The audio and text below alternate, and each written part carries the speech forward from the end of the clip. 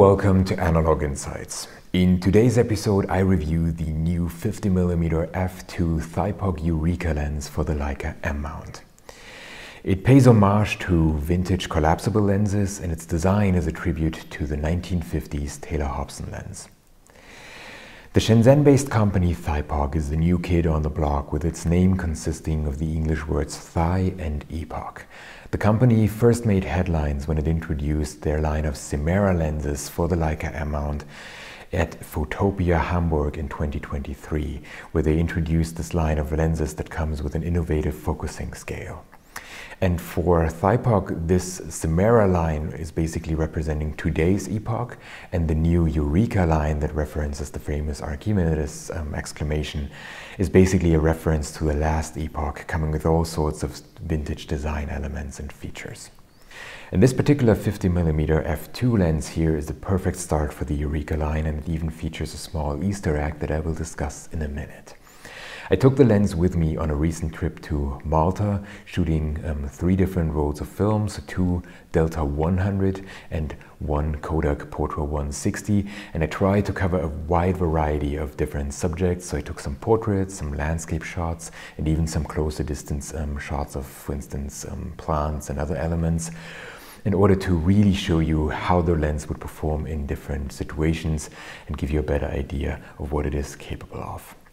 So let's take a closer look at the build quality, the design of the lens, its features, and most importantly, the results and the images it produces.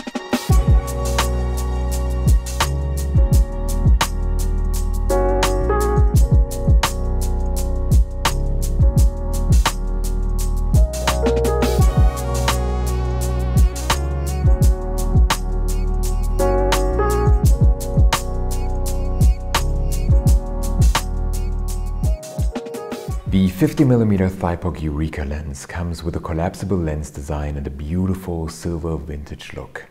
The pre-production version that I have here is made of brass, the final production version will be made of aluminum. The lens comes with a custom-made screw-on UV filter and the lens hood in matching colors. Naturally, the lens also comes with a front cap and back cover. Optically, the lens is a pure double Gauss design with six elements in four groups and one high refractive index glass and one extra low dispersion glass. The lens comes with 12 aperture blades ranging from f2 to f16 and interestingly the aperture can be set steplessly so just like on a cinema lens. The lens features a classic focusing tab with infinity lock and a minimum focusing distance of 1 meter. In a collapsed state, the lens is only 27 millimeters long, so quite compact, and in the expanded states, it's 41.2 millimeters. All control elements are machined to high standards, and the typographic elements and the engravings provide really good contrast and legibility, in my opinion. The lens even features a little Easter egg um, that references the surrealist painting La Trahison des Images by René Magritte, with a small engraving reading Ceci n'est pas un objectif, that is only visible when you collapse the lens and, of course, you detach it from the camera. Um, while the most common interpretation of the original phrase Ceci n'est pas une pipe is that it reflects on what is the actual thing versus what is the representation of the thing, it is very interesting to apply the same metaphor to a lens because a lens, of course, naturally creates representations of the thing that it's capturing and is never really objective. And of course, at face value at the same time, here is the lens itself, and this is only written on the object itself, so it's not really a representation in, contra in contrast to the original pa um, um, painting that shows the pipe and then the sentence on it. And nevertheless, I found this really, really interesting. The Eureka's design is a clear reference to vintage collapsible lenses, as I've mentioned before, and in my opinion is particularly well suited for film photography. Of course, you may also use it on a digital Leica M body and create re great results with it, and yet I think it really, really shines on a vintage Leica M6 body like here. Um, what is also interesting is, of course, that it is a reference to the 1950s Taylor Hobson um, design, uh, lens design, which is famous for its swirly bokeh and characteristic look. And of course, I can't wait to um, take a closer look at the images and the results that this lens produces.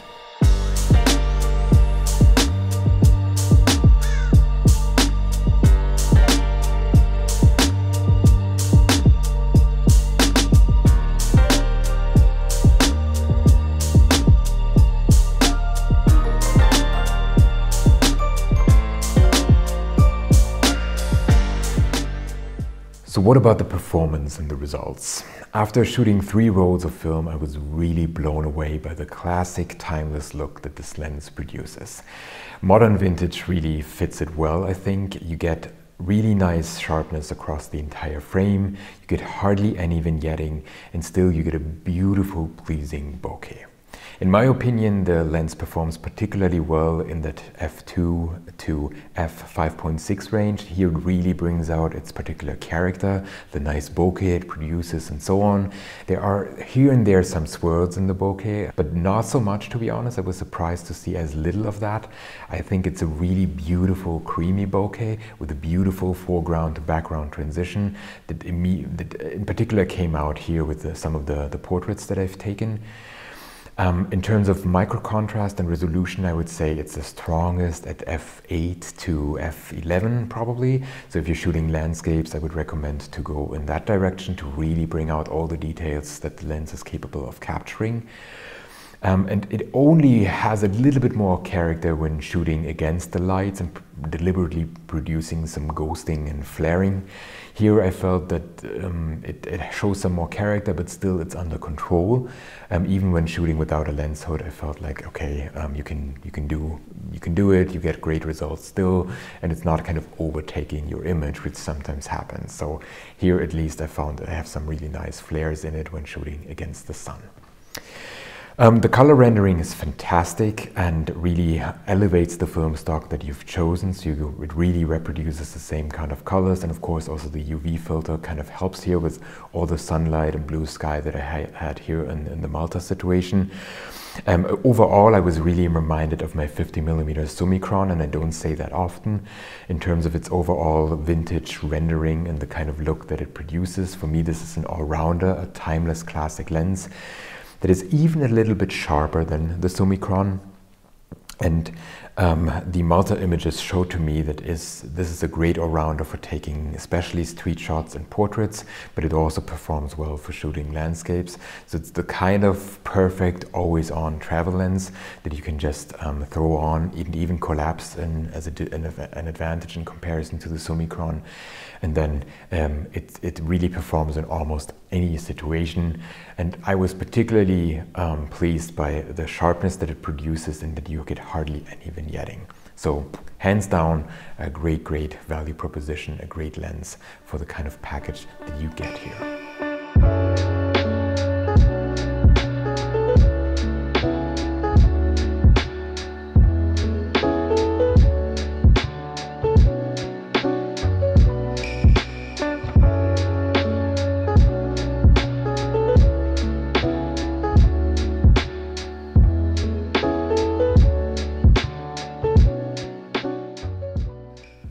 What about the handling and my personal impressions? The 50mm Thypoch Eureka lens feels well crafted, compact and light. The collapse mechanism is very similar in terms of the turn and expand movement to my original Leitz lens. So if you are used to that, it's easy to get your head around it. And in general, it's not a difficult thing to learn. You just, it just takes some, some uh, fine tuning and always carefully doing it. And then once you're used to it, it's just a an automatic movement to expand it quickly. I particularly enjoyed the stepless aperture. Um, you can imagine in combination with the Leica M body with the built-in light meter, you end up using the aperture to fine-tune your exposure and maybe meter a little bit around and then find the best compromise using the stepless aperture. And of course, for people shooting it on a digital um, um, camera, it's perfect for videography as well. Um, similar to a cinema lens, the main benefit is that if you would transition from a bright scene to a darker scene, kind of moving, follow around with the camera to an indoor situation, you would be able to just steplessly open the aperture. And if you're doing it in a good way, your audience would hardly notice that.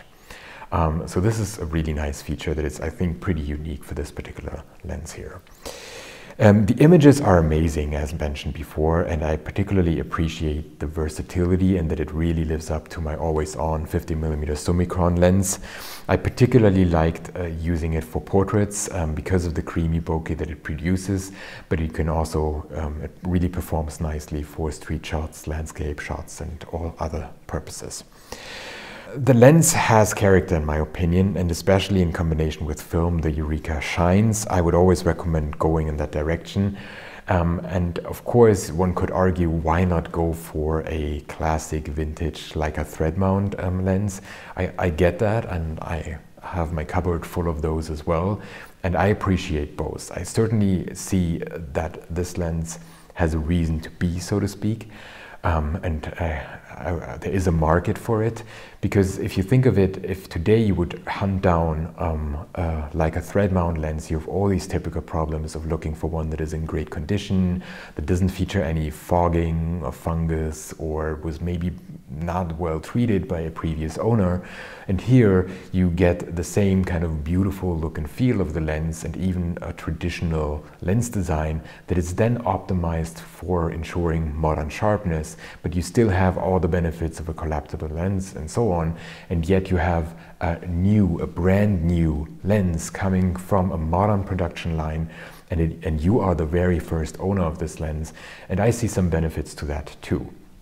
So it really comes down to your personal preferences and taste, but getting such a lens that it's so well coated and produces such nice colors is of course a difference to just hunting for a vintage lens and then potentially being a little bit disappointed. So it really is a matter of of what, what is your preference and which direction you want to go. What I also liked about this particular lens is that it comes with this um, UV filter and the lens hood that are just a very nice touch. And there are a lot of other small details that I just appreciated in terms of the manufacturing quality um, that really are to the highest standards, at least here for the pre-production brass version that I have. And what I also liked are the small details on the typography, like little elements, little letter, letters here on the Eureka and so on, that overall gives this lens a premium look and feel and touch. And it's certainly not a cheap product in many ways, but really produced to the highest standards.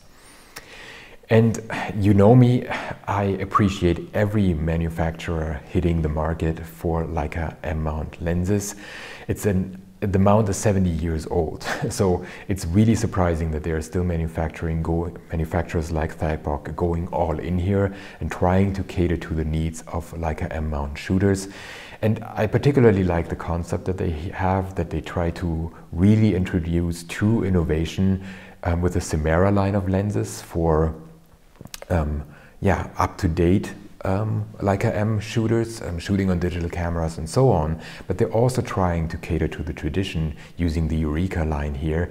And to people like myself shooting um, Leica M vintage lenses, uh, vintage M cameras um, from the 1980s, 70s and 60s and so on. And combining those with such a modern lens can be really, really nice.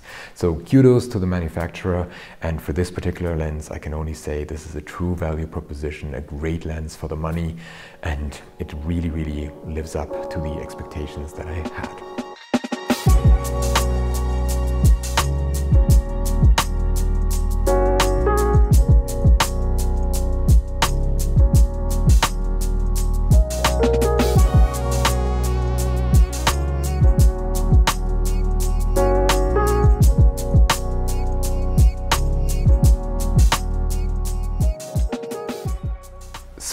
Very much for watching. I hope you enjoyed this episode of Analog Insights and my review of the 50mm f2 Thypoch Eureka lens.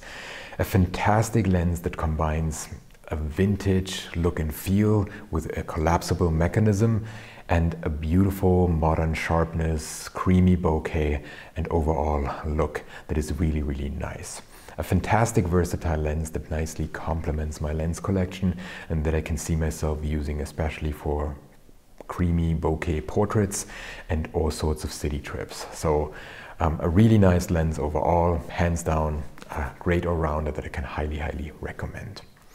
If you enjoyed this episode, please remember to like it and maybe even share it with your friends. And if you want to see more videos like this, please subscribe to our channel. Jules, Greg, and I really appreciate each and every subscriber coming our way. So thanks for watching. I hope to see you soon. Bye.